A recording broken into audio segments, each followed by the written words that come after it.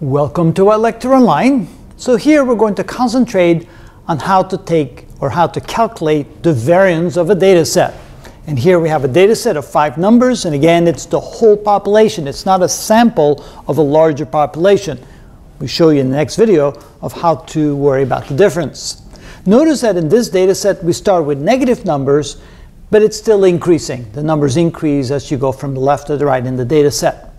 So there's two steps to follow. First, we need to find the mean or the average of our data set. How do we do that?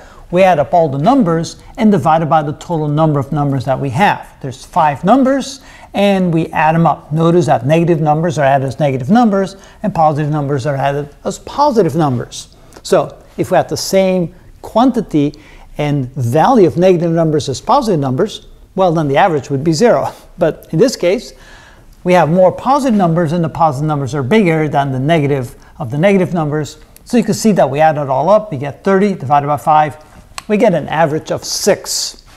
Now how do you calculate the variance? Well, notice what we do is we sum up the difference squared of each of the five numbers and then we subtract from each one of those the average number. So we have minus 4 minus 6, minus 1 minus 6, 5 minus 6, 12 minus 6, and 18 minus 6. But we square those differences so notice since we square them, it doesn't matter if we end up with a negative number or positive number, the result of each of those squared always will be positive. So the variance is always going to be a positive number.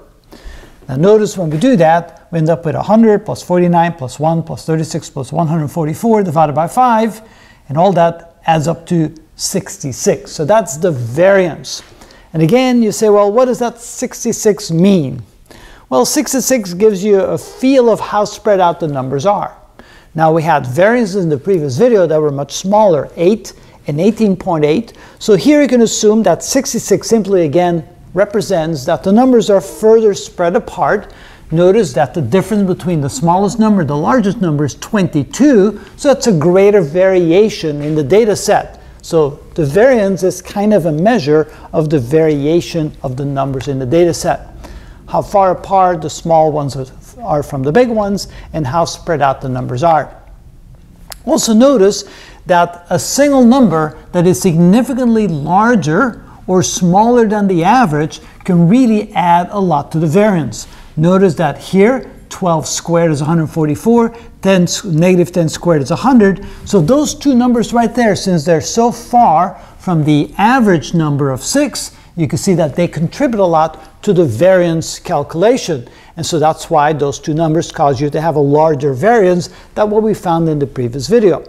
But again, what does 66 really mean? It's better if you want to understand what the relationship is between, uh, for example, yeah, what the, what the um, well here, no, I'm getting ahead of myself because now I'm thinking about correlation and, and covariance, so we won't go there yet. We simply want to calculate what the variance is. And that's good enough for this video.